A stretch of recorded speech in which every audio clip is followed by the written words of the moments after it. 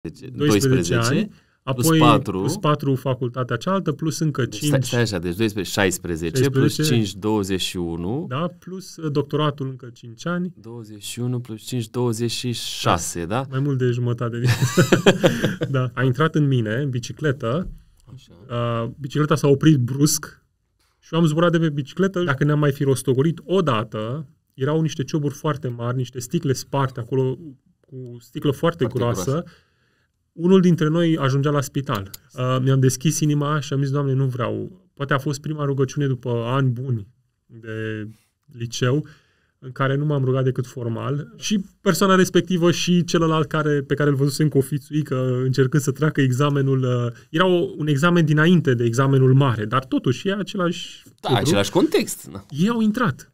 Și eu care veneam cu o inimă curată, cel puțin așa eram, chiar se realizează niște schimbări în viața mea, eu n-am intrat.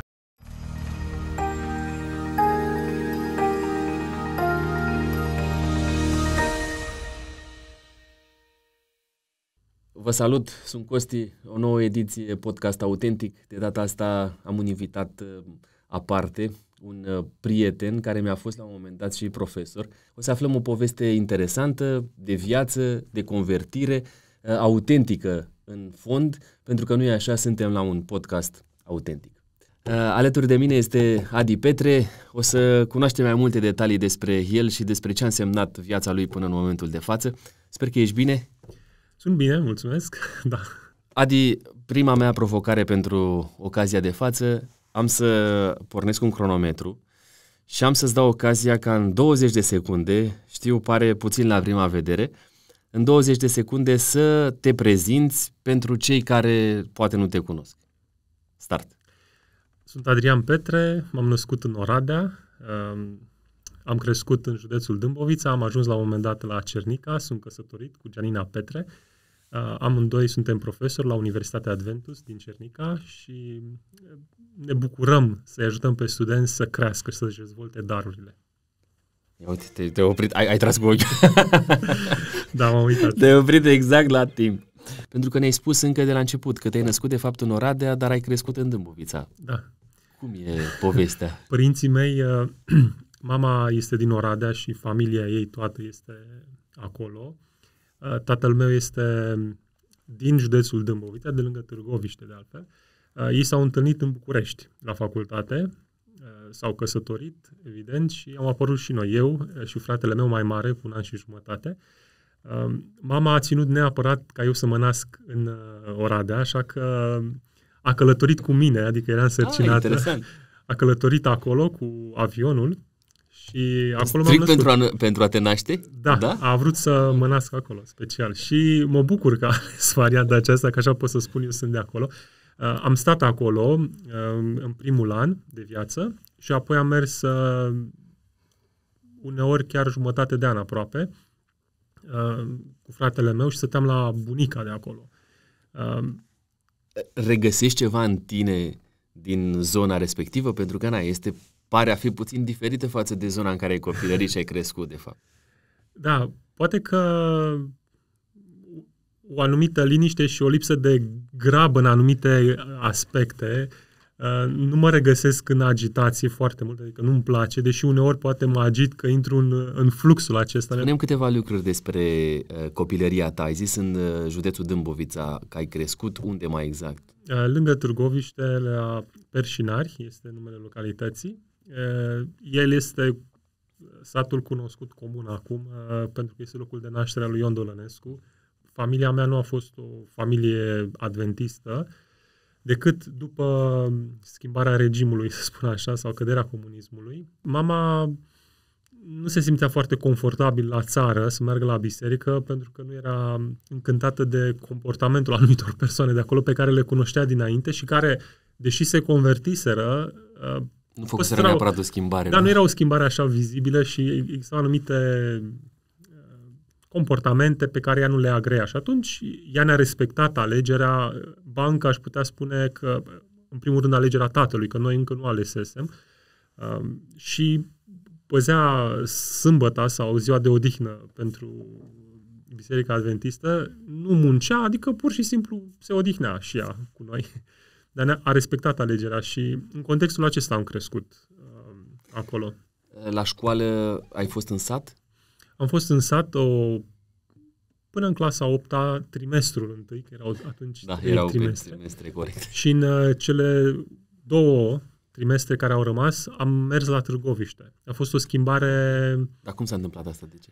Uh, fratele meu, care era cu un an mai mare, a mers la liceu da? și părinții s-au gândit că ar fi mai bine ca noi să stăm în oraș, pentru că și eu urma să merg la liceu. În perioada asta a adolescenței, tu te-ai depărtat de Biserica Adventistă sau ai continuat să mergi la biserică? Mergeam pentru că aveam prieteni acolo. Tot la țară? La țară, da. Um, pentru că am mers la școală în cele două trimestre, era o altă lume acolo și eu încercam să mă integrez și atunci cred că a fost una dintre deciziile pe care acum o regret, să spun așa. Um, la sfârșitul clasei a 8 se organiza un fel de întâlnire, se organiza pe weekend, adică începând de vineri până duminică și de obicei erau tot felul de întâlniri, muzică, dans. Uh, însă eu deja începusem să merg la biserică, aveam anumite întrebări cu privire la viață, frământări și știam că decizia asta nu este una foarte bună, dar voiam să fiu pe placul uh, celorlalți, într-un anume sens, să mă integrez, să fiu cu ei, să avem amintiri frumoase și am zis merg și eu. Și mi-aduc aminte cât de rău m-am simțit, așa că știam că sâmbătă este o zi în care nu trebuie să particip la astfel de activități și eu participam. Și participam în sensul de dacă m-a invitat diriginta să dansez cu ea, m-am dus și am dansat. Sau, dar mi-aduc aminte de anumite scene, eram afară, în afara clădirilor de acolo unde ne întâlneam și mă uitam așa spre cer, la stele, era destul de răcoare acolo, că era zonă de munte și mă întrebam, da, e bine ce fac eu și încercam să justific decizia, dar nu m-am simțit deloc confortabil și aș putea spune că a fost acela un moment în care, în loc să mă apropii de Dumnezeu, m-am îndepărtat în experiența mea, apoi a urmat liceul și la liceu lucrurile iarăși da, cu noi provocări. Cum a fost perioada liceului și care a fost poate cea mai mare uh, nu știu, provocare, confruntare cu realitatea cumva dură, dar în același timp și de dorit pentru un adolescent? Colegi noi, provocări noi, prietenii noi. Ce profil ai uh, ales? Am studiat uh, matematică, informatică. De fapt, era mai degrabă informatică intensiv matematică, dar cred că le făceam pe amândouă oh. intensiv, pentru că la un moment dat diriginta era profesoara de matematică și... Am înțeles. Dirigi... Orele de exact, dirigenție da, se transformau da. în ore de matematică. Am matematică foarte mult și informatică. Uh, în contextul acesta, în relația cu prietenii de acolo, unii dintre ei ascultau o anumită muzică care se asculta atunci și eu am început să ascult cu ei, evident, și să ne împrietenim Aveați în felul acesta. Aveați A, nu, acele erau prea slabe, trebuia să avem okay. anumite boxe ceva mai mare ca să ascultăm. A, da? da era o muzică mai da, ritmată atunci ascultam nu că îmi plăcea atât de mult muzica, însă era trendul acela și simțeam și eu că, băi, trebuie să le cunosc, să le... Să ascult și era și o perioadă în care nu știam foarte sigur în ce direcție să merg, perioada adolescenței. La un moment dat, în uh, clasa, cred că prin clasa 10 clasa 9 clasa 10 au început anumite activități pe la biseric, bisericile adventiste din oraș, una dintre ele, uh, Biserica Speranța, și mai mergeam acolo nu atât de mult în sabat, preferam să merg la țară, că acolo erau da. prietenii, însă mai erau întâlniri cu tinerii și mergeam ca să ne întâlnim cu tinerii. Uh-huh. Asta era... Nu, Asta era scopul Asta final era scopul. sau principal, de fapt. Anumite frământări pe care le avusesem în, în perioada în care eram în clasele, să spunem, a 5, a 6, a 7, când mai citeam anumite cărți din biblioteca tatălui, religioase. În practică eram un fel de da, nu neapărat agnostic, dar uh, un fel de deist, așa. Dumnezeu este acolo, a creat totul, dar uh, eu îmi văd de treabă aici. aici. Da, cam așa era perspectiva mea. Și la liceu cam asta a fost, în mare parte. Da, au fost anumite schimbări uh, care s-au întâmplat în partea a doua a anilor de liceu. Prima parte a fost așa, după care au, au, au fost așa cumva din dorința de a te apropia de alți prieteni, de a-ți face Exact, și mergeam cu ei, tău. nu neapărat la, nu am fost niciodată la o Ai avut un viciu în perioada aia? Nu, nu, nu. nu. Uh, doar Ai fost echilibrat. Am mers... Uh, Echilibrat sau cum? Sau ai stat departe de toate lucrurile Nu am, astea? nu am băut sau nu am fumat, okay. chestiile astea nu mi-au, mi-au displăcut tot timpul. Bunica fuma um, și asta nu ne-a Și ai plăcut. zis că nu.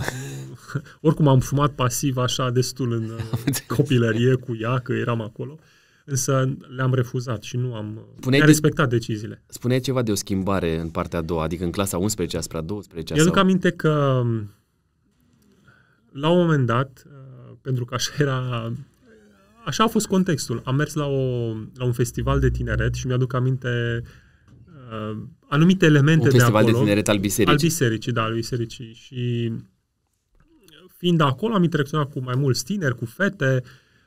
Eu nu avusesem neapărat o prietenă, dar am zis, băi, hai să încerc și eu treaba asta, că au prietenă toți. Erau anumite fete pe acolo care erau atrase cumva de mine și am zis, uite, am ales eu așa pe cineva și vreo trei luni a fost o relație așa, adolescentină, aș putea spune. Și s-a încheiat, pentru că mi-am dat seama că eu nu pot să mă joc cu o fată care vrea să-mi cunoască, de exemplu, părinții, care ia lucrurile mult mai în serios și am zis, băi, eu nu sunt pregătit pentru nimic serios. și am zis, gata, nu, e, e nepotrivit ceea ce fac și lucrul ăsta a creat o anumită schimbare, aș putea spune. Un alt lucru care s-a întâmplat atunci, în perioada aceasta, um, mergeam cu prietenii mei la un baraj de acumulare din apropiere, uh, pe râul Dâmbovița, unde efectiv ne scăldam, făceam baie acolo, ne bucuram, mie îmi place să not, uh, ne bucuram de timpul acela și la un moment dat, mergând cu ea, am observat că bicicleta avea ceva probleme, a trebuit să mă întorc acasă, să o repar, să o rezolv acele, în fine, se desfăcuseră șuruburile de la axul din față, de la roată, și era un pericol, adică putea să, la vreun hop, uh, să, să se sară roata efectiv și să mă trezesc pe jos. Ei bine, m-am trezit pe jos, dar în alt context, m-am întors și mergeam singur pe drum și mă gândeam, băi, și bicicleta asta s-a stricat acum, prietenii mei acolo se bucură de scăldat, de apă, de soare, de tot și eu, uh, uite, sunt aici pe drum și pedalam și încercam să ajung cât mai repede și la un moment dat, de pe partea dreaptă, am trecut pe partea stângă pentru că era, drumul era cu anumite denivelări și gropi.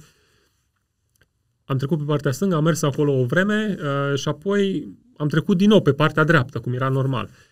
Nu m-am asigurat. Uh, m-am bazat pe auz, nu am auzit nimic, dar bătea vântul și bătea vântul uh, din față și nu auzeam prea bine ce era în spate, efectiv. Încerc să-mi imaginez uh, Da, și scena. am trecut din partea stânga a drumului pe partea dreaptă, nu m-am asigurat și am auzit în spatele meu, când eram aproape gata, gata să ajung pe partea dreaptă, am auzit un scârțit de, de roți așa pe, pe șosea și o mașină efectiv a frânat pentru că venea, bine că nu a avut viteză foarte mare, a intrat în mine, în bicicletă, Așa. uh, bicicleta s-a oprit brusc și eu am zburat de pe bicicletă jos, pe, nu știu, as, nu era asfalt, era de fapt un, uh, era ciment acolo și pământul foarte uscat, cum este vara.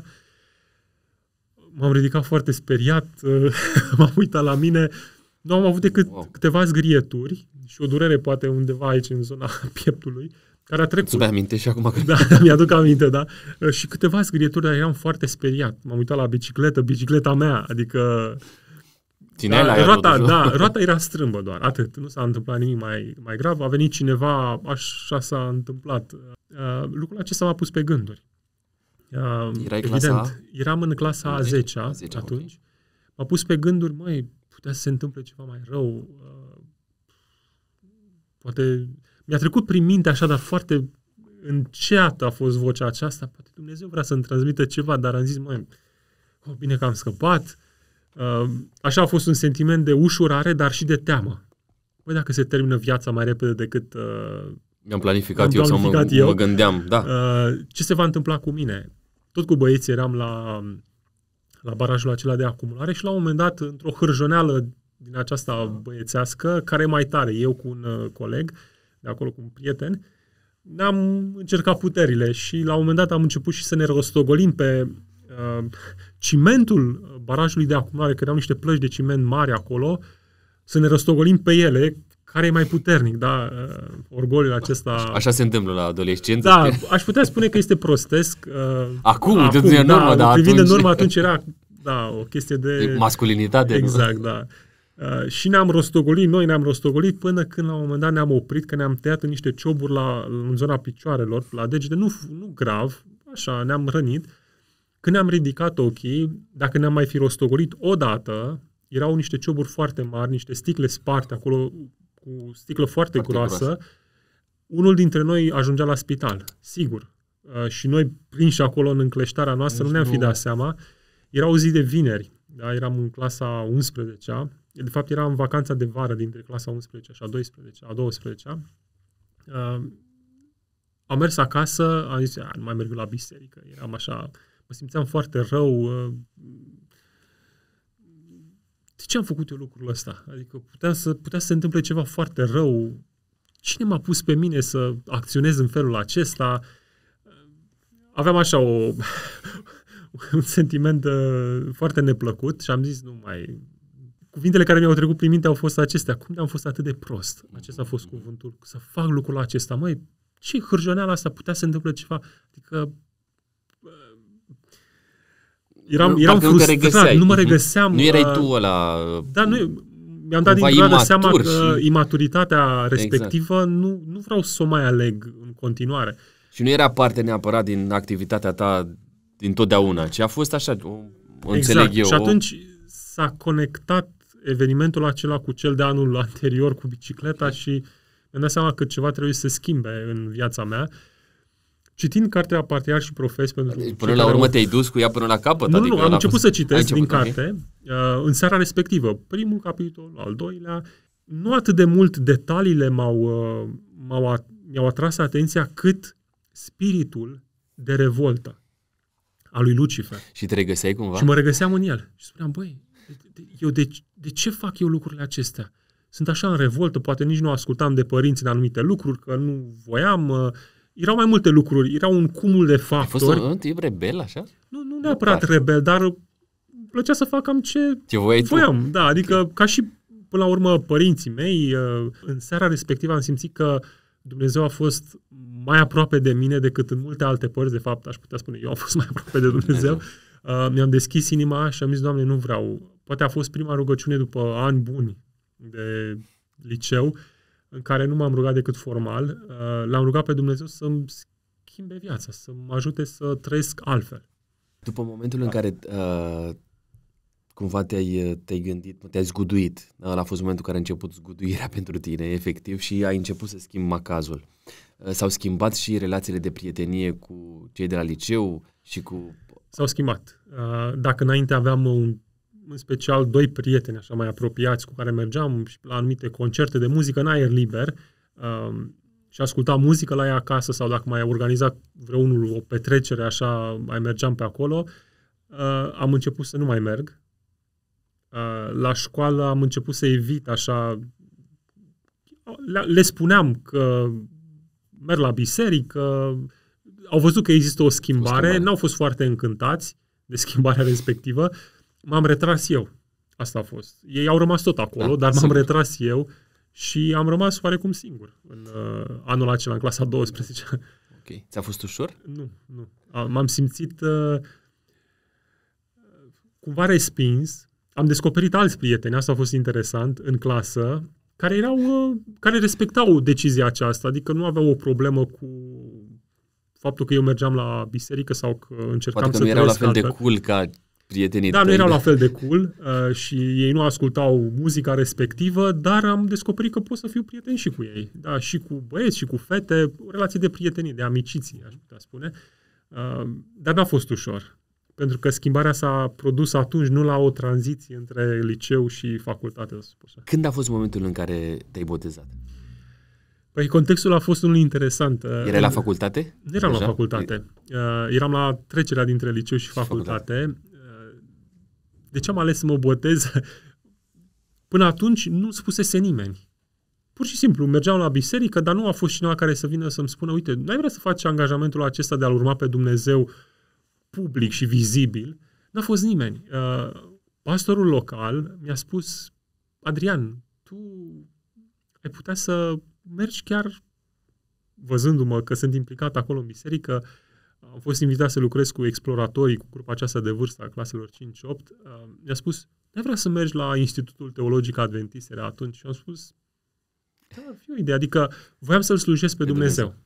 asta era dorința mea și cum să fac lucrul acesta? Păi, așa. Și atunci pastorul mi-a spus, bun, păi uite, sunt anumite întâlniri la care tu trebuie să mergi, la sediul conferinței bisericilor din zona în care eram, zona Muntenia, am mers la acele întâlniri, am aflat că, bun, trebuie să mă și botez, că asta era o cerință.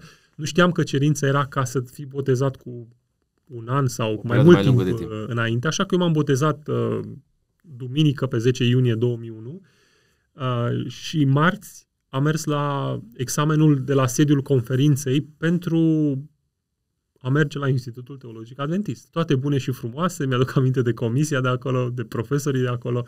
Uh, până când m-au întrebat, dar tu când te-ai botezat? Păi e, duminică. duminică când? Păi duminică. Oh, nu se poate. Nu se poate să... E prea de vreme, adică tu ești prea proaspăt, să spunem așa, în credință. Deși nu era așa. În niciun fel. Și regula aceea astăzi nu mai există. Nu mai există, corect. Însă atunci am primit acea veste destul de ușor. Am spus, măi, dacă oamenii aceștia care au experiență spun asta și Dumnezeu a condus lucrurile așa, înseamnă că așa trebuie să fie. N-ai fost așa dezamăgit? Am fost așa? frustrat pentru că erau unii dintre cei care participau la acea examinare pe care eu îi văzusem copiind. Și o persoană, mi-o aduc aminte, știu cine este, nu contează. Da, nu, uh, a fost momentul, atunci și acolo, omul s-a schimbat, dar uh, când am văzut, eu mă simțeam, aici, aici nu poate să existe așa ceva, adică cum să existe? Și am fost frustrat pentru că el și un altul care mi-aduc aminte începuse să spună la examenul acela oral, uh, trebuia să predice pe baza unui text și începuse să spună, acest psalm este cel la care eu merg atunci când am nevoie și mă simt uh, doborât de întristare și l-a întrebat unul dintre profesori, chiar asta faci? Și el a spus, a, nu, păi spuneam și așa, adică tu e spui așa, adică tu minți omiletic. Cum? Și a fost o situație foarte neplăcută și persoana respectivă și celălalt care, pe care îl văzusem cu că încercând să treacă examenul, uh, era o, un examen dinainte de examenul mare, dar totuși e același Da, codru. același context. Da. Ei au intrat. Și eu care veneam cu inimă curată, cel puțin așa eram, chiar se realizase niște schimbări în viața mea, eu n-am intrat și mi-am dat seama că mă, este voia lui Dumnezeu. Așa. Bun. Așa că eu deja în perioada respectivă mă gândeam ce fac mai departe și m-am înscris la facultate în uh, Târgoviște. În perioada respectivă de patru ani, pentru că am finalizat studiile acolo, am uh, putut să mă implic în biserică mult.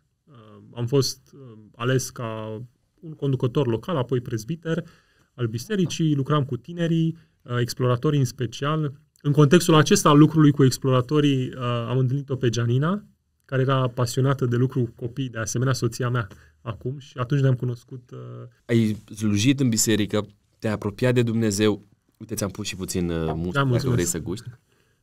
Uh, este foarte bun.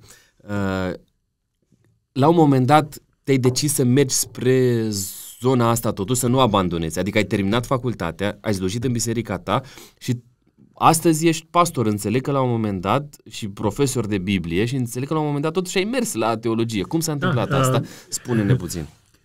Am terminat studiile acestea universitare. Da. De patru economist. Ani. Patru da? ani erau atunci. Patru ani erau atunci. În perioada aceasta am uh, slujit și în biserică. și vrut să merg la Cernica, însă părinții, în special mama, mi-a spus ar fi bine să închei studiile. Uh-huh. Și a fost o decizie bună, pentru că am terminat etapa aceea, în perioada respectivă am avut anumite burse, am putut să studiez în afara țării, în contextul acesta, adică m-a ajutat mult să mă dezvolt. După ce s-au încheiat studiile, în vara respectivă, am zis, eu vreau, eu oricum vreau să merg la, la Institutul Teologii, pentru că vreau să-L slujesc pe Dumnezeu. Nu știam cum exact. Ca pastor și ca pastor, dar nu neapărat doar ca pastor. Dar știam că aceasta este calea pe care ar trebui să merg și am spus, eu nu vreau să lucrez. În perioada, am făcut anumit practică la anumite firme, însă nu am vrut să lucrez în domeniul respectiv. De business. Nu te-ai regăsit. Nu m-am regăsit, eu am spus vreau să-L slujesc pe Dumnezeu, nu mă interesează acum să strâng bani sau să fac bani sau... Nu vreau asta.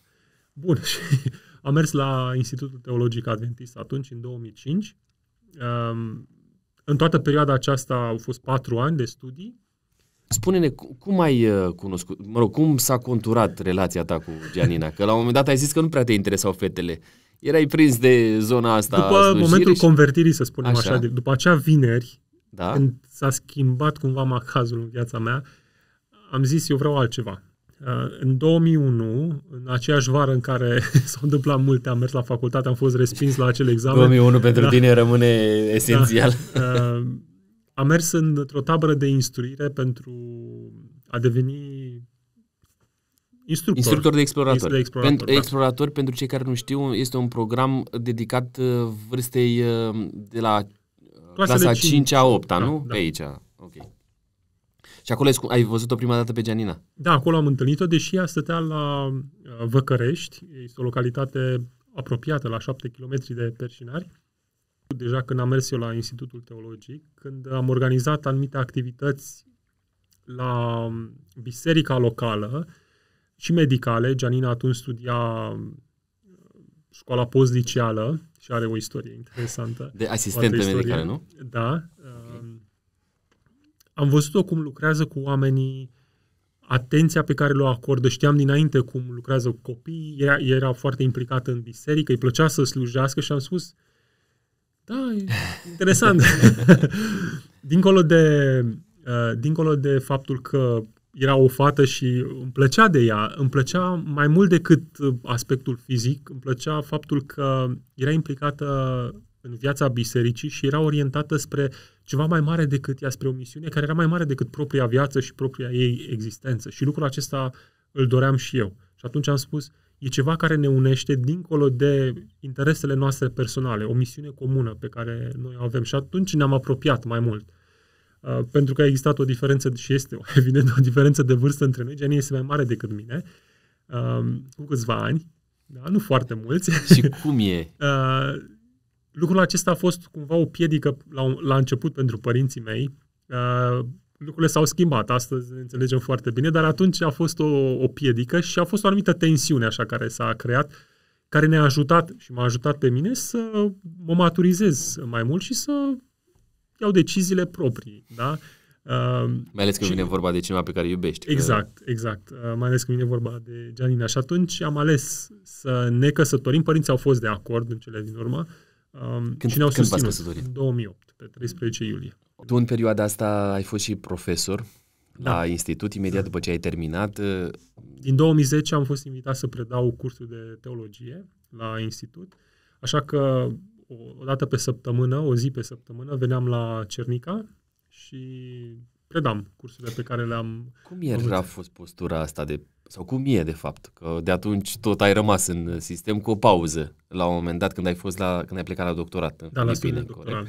O să ajungem și la etapa asta. Uh, cum era să fii profesor, mai ales la început? Cum ai simțit? Uh? La un moment dat, la Cernica, unul dintre profesori a observat că am scris o lucrare uh, pentru un curs, atât trebuia să facem, să scriu o lucrare de cercetare, dar eu am, am depus foarte mult efort pentru că mi-a plăcut subiectul atât de mult încât am zis, eu fac lucrul acesta indiferent dacă muncesc mai mult decât trebuie și am scris o lucrare pe care el a apreciat-o și pe care m-a invitat să o public în uh, revista teologică a școlii și am publicat-o și de atunci a, a apărut ideea aceasta de a mă invita să predau la Cernica și așa s-a întâmplat. Dacă, ar, dacă te uiți puțin înapoi, au trecut uh, 11 ani de la debutul tău ca profesor în zona asta acad- uh, universitară, uh, erai mai exigent atunci decât acum?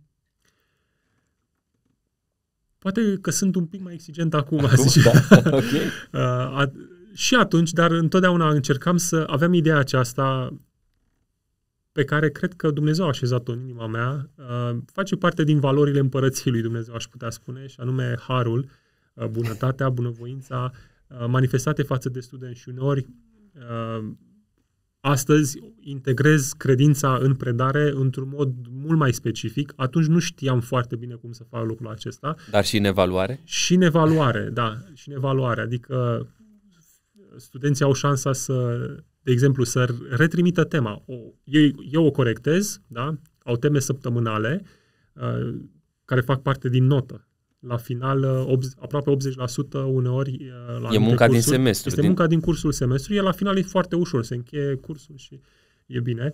În uh, perioada aceasta ei pot să trimită tema, le-o corectez, le ofer un feedback și ei pot să îmbunătățească. Ah, interesant o sistemul. săptămână și apoi eu trec nota finală. Până la urmă da? câștigul, din ce înțeleg, este mă interesează să, ca ei să învețe să învețe și să... să acumuleze exact, informația, exact, exact. nu neapărat să primească o notă, că exact. asta probabil că e cel mai ușor lucru da, pe care Elementul acesta pe care l-am văzut, că am stat destul în școală, profesori care erau interesați doar să pună o notă, nu conta studentul, întotdeauna mi-a displăcut și atunci am încercat să le transmit studenților, chiar și la început, uh, ideea aceasta, că nu mă interesează atât de mult nota, Mă întorc puțin, pentru că, na, cumva, partea de profesorat și de școală pentru tine a continuat. Adică, cât ai fost profesor fără să fii pastor și fără să fii uh, la afroșcoală? Acum, după ce ai terminat doctoratul, de Acum, fapt. da, da. Ok, înainte tot timpul ai avut și altceva nu, de făcut. am fost pastor uh, primii șase ani, adică din 2010 până în 2016. Am fost pastor, în primul rând, dar am predat și cursul. Da. Deci ai avut și altceva de făcut în afară de a preda. Da. Ai fost la ziduri o parte, după care ai venit, venit în București. București. Da. Ați venit, de fapt, și venit, tu și Gianina uh, la, la Biserica Labirint. Da. Okay. Am stat acolo trei ani. După cei trei ani uh, am fost sirotonit ca pastor al Bisericii Adventiste de ziua șaptea și am fost trimis la studii doctorale în Filipine, la Adventist International Institute of Advanced Cum a fost uh, Science. perioada asta? Am simțit că Dumnezeu a condus lucrurile până aici. V-ați mutat uh, acolo, să specificăm acolo, lucrul da, ăsta. Stat acolo. efectiv acolo. Am stat în fiecare an, uh, în primul an am stat tot anul întreg, ne-am întors în martie, am plecat în februarie și ne-am întors în martie anul următor. Am stat trei luni în România și apoi ne-am întors acolo 9 luni și cam așa a fost toată perioada, din 2016 până în 2020. Toamnă. Tu, de fapt, ai și predat când veneai în țară și predai? Acolo studiam, eram student da. full-time și când veneam în România, eram profesor full-time. Adică predam, uh, chiar dacă aveam anumite cursuri și anumite teme, nu reușeam să le mai fac. Uh, mă ocupam doar de studenți pentru că aveam uh, cursurile mele, trei cursuri sau patru, în perioada aceasta în care stăteam în România și era programul intensiv. Cum este adventismul din Filipine? Este tot adventism, da. Există o efervescență mai mare pentru că, efectiv, Țara este mult mai tânără, media de vârstă este în jur de 22-3 de ani la 108 milioane de locuitori. Adică wow. este, este o țară foarte tânără și evident lucrul acesta se reflectă și în biserică. Biserica Adventistă este una tânără, este mai numeroasă și raportat așa, să spunem, procentual față de biserica din România. Sunt foarte multe activități tinerii sunt încântați și angrenați. Ce ai luat de acolo și ai aduce aici? Spiritul acesta l-aș, l-aș, l-aș răspândi poate mai mult în, în rândul tinerilor. Ce n-ai luat de acolo? Și aș mai lua comunitatea de acolo. Ce înseamnă comunitate? Spiritul de comunitate care este mult mai prezent și mai dezvoltat. Adică nimeni nu este singur. Fiecare este parte a unei comunități. A unui grup. A unui grup. Dar este foarte importantă comunitatea pentru ei. Gândesc așa și nu nu vor să... Nu sunt individualiști, nu, nu pentru ei, ci pentru... Și noi avem spiritul acesta, dar este diluat, mult diluat. Adesea suntem doar noi pentru noi și atât. Ce n-ai luat de acolo? Mi-a plăcut foarte mult muzica, personal. Uh, este diferită în sistemul karaoke cu o muzică cu care nu sunt obișnuit și care nu m-a încântat foarte mult. Este un amestec. Da? Au și muzica care mie îmi place și alta care nu mă Legat de școală propriu-zis, uh, cum au stat lucrurile? Adică ai văzut un plus? Care ar fi plusurile faptului că tu ai studiat în Filipine doctoratul? Este o școală a bisericii, este o școală adventistă și valorile creștine și adventiste sunt integrate în tot ce se întâmplă acolo. Adică tu nu ai doar un curs, un set de informații care ți se transmis și pe care tu îl poți regăsi în, într-un material pe care îl citești de unul singur, ci în, în modul în care se predă, în modul în care se interacționează între profesori și studenți, adică sunt mult mai apropiați. E o relație de prietenie până la urmă acolo. Ai o relație de prietenie cu colegii tăi, se formează anumite grupuri, oamenii sunt întotdeauna serviabili și gata să te ajute, să te sprijinească în efortul acesta. Câți ani de școală ai tu propriu da, mulți. Câți? Păi, Hai să-i numărăm. Să-i numărăm, da. Uh, au fost cei 8 Da. La clasa până la 12, 12, 12, 12 ani. plus Apoi patru. plus 4 facultatea cealaltă, plus încă Deci 5, stai, stai așa, deci 12, 16, 16, plus 5, 21. da, plus uh, doctoratul încă 5 ani, 21 plus 5, 26, da? mai mult de jumătate din Da, am stat în școală și este obositor, însă, privind în urmă, îi mulțumesc lui Dumnezeu că Ai a avut făcut toate posibil, oportunitățile da, astea. Au fost toate... Există un om pe care îl ai ca model? Un om acum, sau dacă au existat oameni, uh, Hai să ne...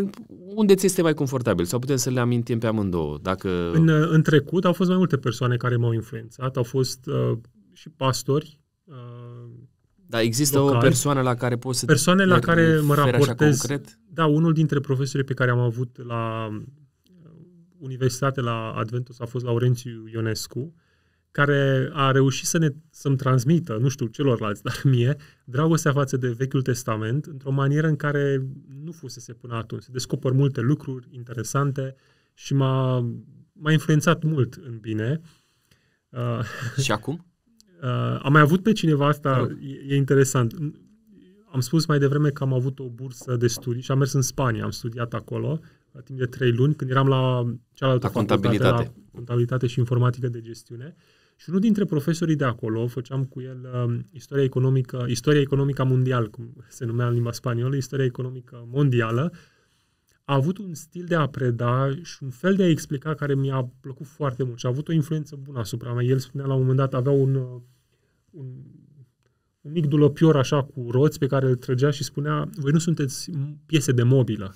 Uitați, la mobilă deschis sertarul, pui acolo ceva înăuntru închis și acolo stă. Voi nu sunteți uh, piese de mobilă, voi sunteți ființe umane, voi gândiți, voi trebuie să vă întrebați de ce adventist? și cum. Nu, nu era adventist, nu, era Ce un context religios. Om valoros. Da, de asemenea, la doctorat am avut un profesor, Michael Campbell, care nu mai este acum acolo, ci este înapoi în Statele Unite. Uh, El m-a influențat, avea un, un spirit prietenos și uh, ne-a susținut foarte mult. A mers cu noi la anumite conferințe în Statele Unite.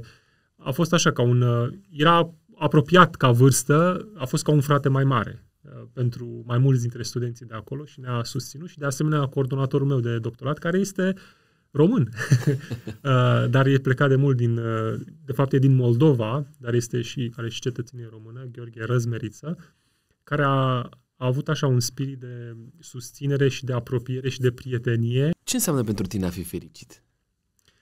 A fi fericit înseamnă a face uh, ceea ce înțelegi că Dumnezeu are în plan pentru viața ta. Eu așa mă simt fericit. Nu există altceva. Adică nu găsesc fericirea în a avea un obiect. Tu creezi niște lideri uh, sau, mă rog, faci parte dintre oamenii aceia care pun acolo niște cărămizi pentru niște lideri. Te uiți sau ne uităm cu toții la țara în care trăim și vedem că duce țara asta lipsă de lideri morali. Dacă ți s-ar propune să intri în politică, să poți face și tu parte dintre oamenii care să schimbe puțin fața țării noastre. Ce Ei, răspuns Eu cred ai că da? sunt parte din politică, dar din politica împărăției lui Dumnezeu, politica lui Isus, aș putea zice. Cum faci tu să-ți păstrezi zâmbetul? Recunoștința mă ajută să-mi păstrez zâmbetul. Cum arată Dumnezeul tău? Un Dumnezeu care îi pasă, un Dumnezeu care este aproape, care este emoțional, care simte, care se mânie uneori, dar care se bucură de relația cu mine. Cât de repede răspunde Dumnezeu rugăciunii tale? Cât de repede răspunde Dumnezeu când consideră El. Eu îmi doresc personal să fiu în planul acesta, efectiv, și să nu cer lucruri specifice, să spun, Doamne, dacă Tu nu mă asculți acum, eu nu voi mai face asta sau cealaltă. Am și rugăciuni care sunt foarte specifice și pe care le, le îndrept către Dumnezeu, anumite cereri, și Dumnezeu a răspuns. Multora dintre ele și uneori foarte repede. Adică dacă am fost într-o dificultate financiar vorbind, um, Dumnezeu a adus resursele exact când a trebuit. Au fost și momente de felul acesta, dar uh, îmi dau seama că Dumnezeu este în primul rând personal, nu? Este o persoană și nu pot să-i cer eu lui să facă anumite lucruri, ci eu încerc să comunic cu el, să dialoghez mai degrabă și să Și să-l înțeleg ce îmi spune înțelegi. el și să-l înțeleg, da. Um, există cineva față de care ai greșit și ai vrea să își ceri iertare? Uh, săptămâna trecută în trafic am intrat nepotrivit în fața cuiva și îmi dau seama că nu mai pot îndrepta lucrul acesta că a continuat traficul, însă mă grăbeam. Mă grăbeam că era un anumit context, trebuia să încep un anumit curs și mi-am dat seama că acea grabă care am promutat cumva un pic din spiritul orașului în care am condus poate cel mai mult din, din viața mea, aici în București, uh, a intrat un pic și în mine și mi-a părut rău. Uh, a, și văd că încă îți pare Da, îmi pare rău că nu sunt așa. A fost un moment și nu sunt așa și uh, persoana respectivă probabil a văzut numărul de la mașina mea și a, a spus probabil anumite cuvinte nepotrivite. Eu nu trebuia să fac asta și mi-a părut rău. Adi, înainte de final, pentru că atunci am pregătit cumva două chestiuni uh, puțin altfel pentru tine, uh, ai Biblia în față, te rog să o deschizi și să citești versetul tău preferat pentru noi. Apocalipsa 1, versetul 17. El și-a pus mâna dreaptă peste mine și a zis, nu te teme, eu sunt cel din tâi și cel de pe urmă. Am 10 întrebări pentru tine acum spre final. Uh, prima întrebare sună așa. Este, de fapt, o alegere între niște variante pe care eu am să ți le ofer. Citești Biblia dimineața sau seara? Dimineața. Vaccinat sau nevaccinat? Vaccinat, da. Și Vege- trecut prin boală. Vegetarian sau omnivor? Uh, vegetarian. Fructe sau prăjituri? O, fructe. Internet sau televizor? Internetul. Mai După ce ai greșit, te scuzi imediat sau puțin mai târziu? Imediat și mai târziu. La biserică sau pe Zoom? La biserică. Student inteligent sau student spiritual? Eu ca student sau...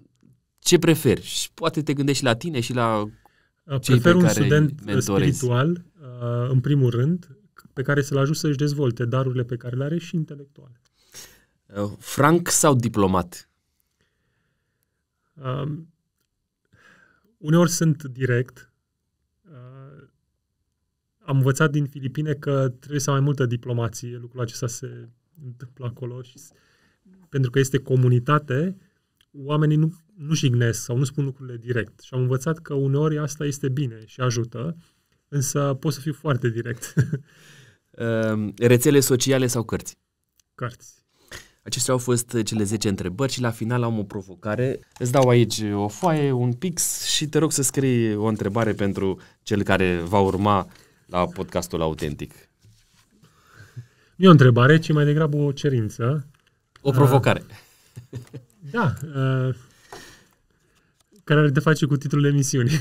Interesant. Mulțumesc mult, Adi, pentru că mi-ai fost aproape. Vă mulțumesc pentru că ne-ați urmărit și în acest episod autentic. Nu uitați pentru a fi aproape de noi, pentru a primi poveștile autentice de viață, să dați like, să împărțiți și altora prin distribuire Um, podcastul nostru și să comentați, să vă spuneți opinia voastră despre ceea ce am povestit noi aici, despre felul în care îl înțelegeți voi pe Dumnezeu și cum percepeți experiența lui Adi. Până la un nou episod autentic, uh, vă doresc să fiți și voi așa cum uh, scrie în Scriptură și așa cum Dumnezeu vă cere fiecăruia. Autentici.